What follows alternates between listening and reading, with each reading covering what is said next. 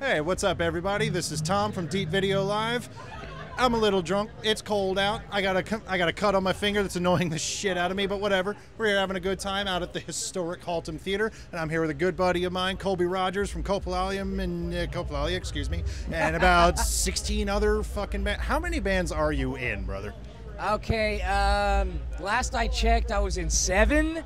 Uh, but I've added this like cover band, so I guess that's eight, and then there's this other one that might like kind of revive under another name, so that's like nine. So it's just going up.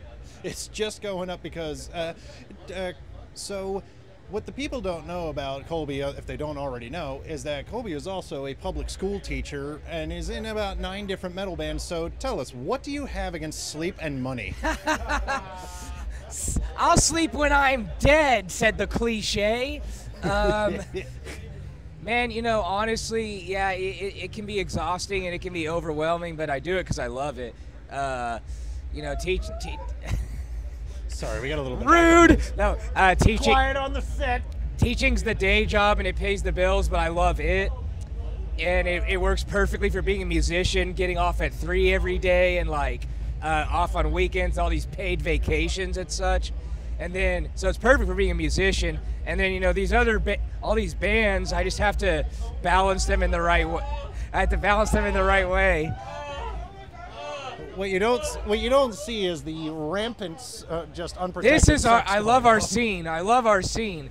Um, that's actually that actually leads me perfectly, oddly enough, into my next question. Uh, tell us a little bit about the the DFW uh, local scene because Dallas proper in the city has a thriving, absolutely booming metal scene, and uh, not uh, not to downplay the local like Arlington and Fort Worth, uh, Grand Prairie, all that, uh, the local surrounding areas scenes, but post COVID, it's still kind of coming back, and it's it's doing a very good job. We have a good turnout here for a Thursday night.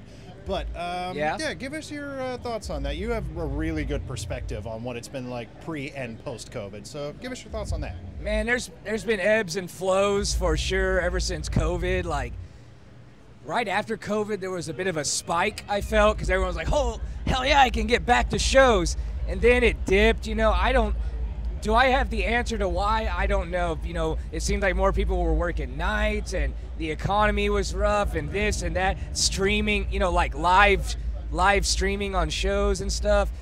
All kinds of stuff. Mean, so there's been some valleys as well, but I'm seeing it back on the upswing lately, thanks to a multitude of factors. Like he said, we're here on a Thursday night. We got a badass turnout here.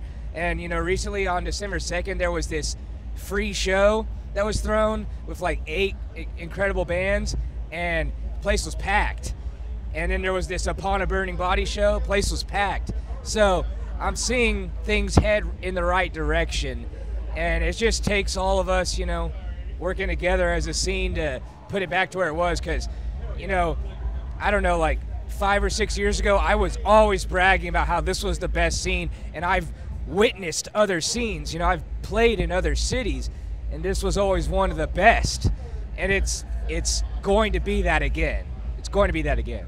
Hell yeah, brother. And uh, so let's cycle back a little bit. Uh, what does it take to balance the uh, the work life aspect yeah. of what you do? Because there, uh, there is no harder worker than this guy right here. So uh, give us a little insight as to uh, the abuse that you put yourself through in order to entertain us fucking savages. Yeah, so as I was saying before, these savages over here were like, oh yeah. Um, it, it is a balancing act, but my job is perfect for it. And these bands, all these bands, they just have to trust me to like do my homework. I can't practice with eight bands once every week. You know what I mean? It just there's not enough days in a week, literally. So they have to. I can't practice weekly with every band. I they have to trust me to be a professional to do my homework.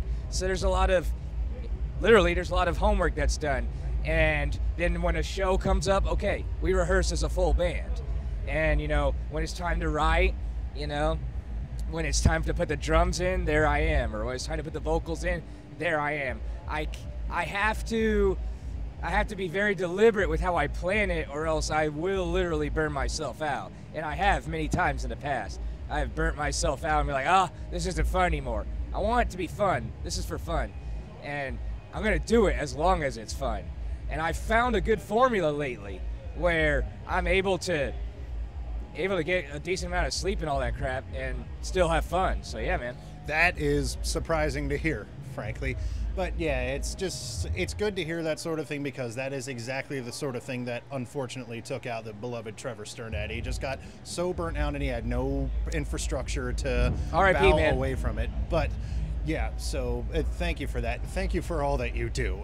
Speaking as a fan and a friend, Ah. just thank you. It's I'm- you're an inspiration to a lot of people, bro. I'm, I'm humbled by that. I, I'm just glad it makes an impact.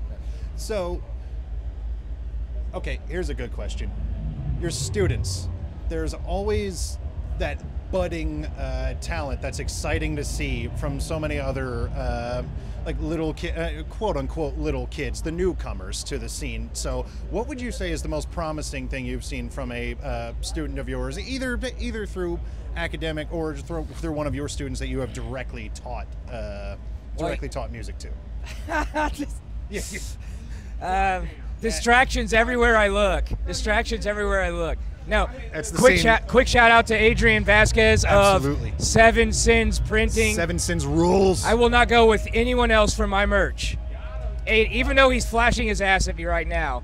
Actually, especially because he's doing that. Yeah. That's called viral marketing. Viral marketing. So, uh, to answer your question, there is literally inside these walls right now a former student of mine. That's fantastic. He's at this show. He is a freaking metalhead. And he is so passionate. He's up there, I guarantee you right now, headbanging his ass off. And if there's a mosh pit, he's in it. And I, he he was at my school a few years ago. That's that's inspiring to me. I've had other mo- uh, I've had other former students go to my shows. You know, that's the way I connect with my students is by I teach high school English, high school English. And that's a way I connect with my students It's like they've never had a teacher who plays metal bands, you know? So, and um, I've just I have this whole wall in my classroom of all these notes students have written to me, and they are they they are my inspiration. That I, I mean that, man. Like, uh, just like music, teaching, you can get burnt out, but then they'll give you a note like that, and you're just like, this is why I do it. Brings it right back it. for you, I imagine. What's that? I said I imagine it brings it right back for you. It brings it right back, it brings a tear to my eye. But yeah, it's really awesome to see. Uh, you you've been I've been seeing this a lot actually at the uh, at the past several shows over the past like year or two. There's been a huge influx of younger fans coming in, Yeah. ranging from you know like high school students, college kids to straight up like little kids knee high to a grasshopper. Uh, it's it's really refreshing to see the next generation in action, and I imagine it's it's inspiring to know that you're at least a part of it. You know. Yes, absolutely. You know, um, I've been in this scene since 2010, and there's a lot of people who I used to see around back then. You just don't see them anymore. They're, for whatever reason, but there's an influx. The it, the scene is the scene has great potential because these young kids are coming in with energy. They're coming in with a new energy. Like when I was just playing here a minute ago at 7:30, there were some young kids trying to start that pit, and they did for a while I saw it. It was awesome. And I, you know, we appreciate that when we're on stage.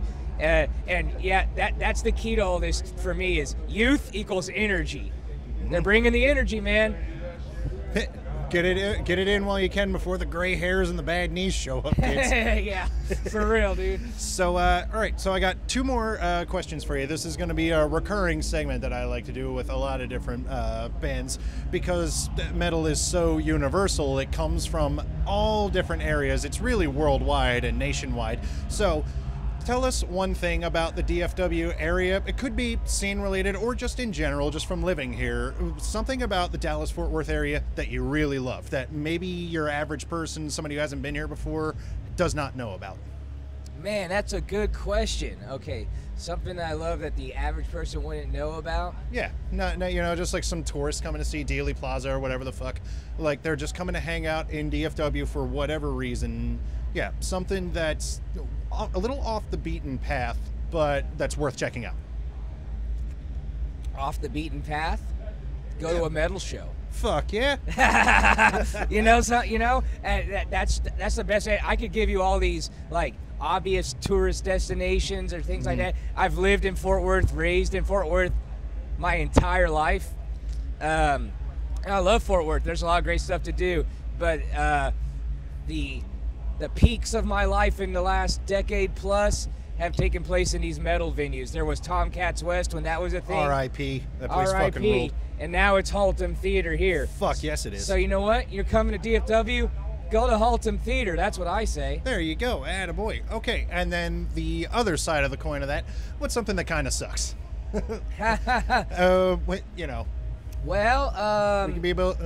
It could be uh, honestly, you know, uh, it's a it's a growing area, man. It is constantly growing, so it the population is just crowded sometimes. It's just crowded, especially especially in Dallas, but even more so in F- Fort Worth the last few years.